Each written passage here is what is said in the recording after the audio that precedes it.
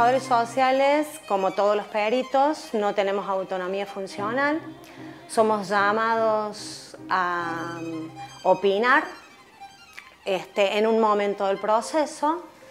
Este, y bueno, la tarea del trabajador social es intentar humanizar de alguna manera al sujeto que interviene en el proceso penal. Un poco es eh, intentar mostrar eh, la trama, la trayectoria, la biografía de esa persona a quien el proceso penal le pone el título de imputado o de víctima. La falta de jerarquización histórica, eh, el techo de cristal, que tenemos las mujeres que trabajamos en los equipos técnicos, la falta de concurso, eh, la falta de oportunidades este, y la mirada puesta en un lugar este, donde no nos jerarquizan y nosotros somos, es un trabajo interdisciplinario el que hacen los equipos técnicos, que somos todos profesionales, y es un trabajo interdisciplinario con el abogado, que en este caso nos llama a opinar de una materia que, sobre la que él no entiende. De los 13 psiquiatras que trabajamos ahí, somos todos médicos psiquiatras, este, es decir, que tenemos el cursado de la carrera de medicina y luego de la especialidad, que según los casos pueden ser este, llevados a cabo en cuatro o cinco años más, aparte de, haber estudiado medicina.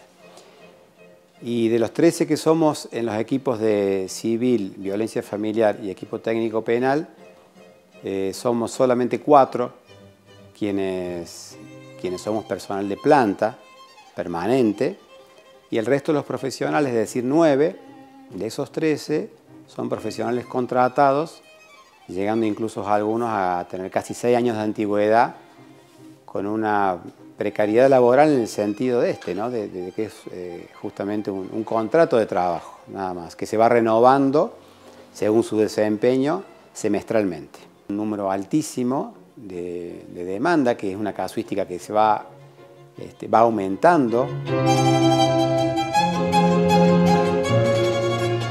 Fundamentalmente en la problemática familiar ¿no? Eh, si bien el juez o la jueza tiene otras pruebas y tiene otros dispositivos para tomar resoluciones, cuando piden un informe o cuando piden una intervención, un diagnóstico, es porque necesitan ampliar el conocimiento que tienen sobre la problemática.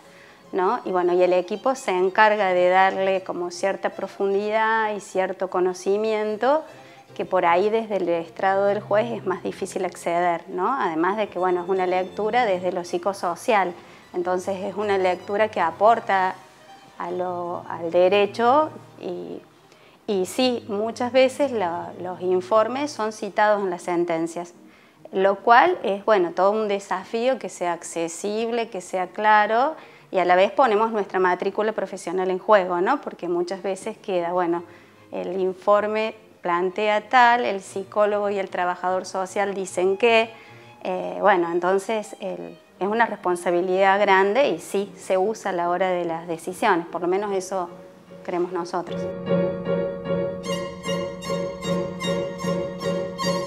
CATEMU trabaja con los ocho juzgados de familia de Córdoba Capital, Em, y también trabajamos eh, con pedidos de otros juzgados del interior y a veces con pedidos de juzgados de otras partes del país. Creatividad en las respuestas, entonces eh, realizamos un abordaje como en el caso a caso, si bien la justicia o el sistema de justicia em, podría o muchas veces tiende a dar respuestas estandarizadas, nosotras abordamos el trabajo con cada familia como con este componente, ¿no? Por una cuestión de salud mental nuestra y también de poder hacer un aporte a la familia que sea el que esa familia necesita en sí.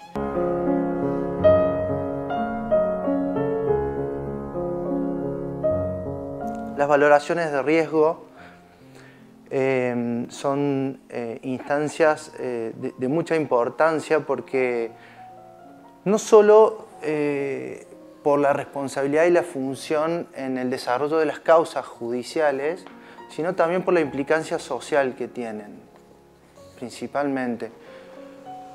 Porque, mm, bueno, son instancias en las que se intenta eh, explorar indicadores eh, de violencia para acceder a, un dictamen sobre el nivel de riesgo, para asesorar a los magistrados, eh, destinados a, hacer cesar, a hacer cesar, a atenuar o, eliminar las situaciones de riesgo.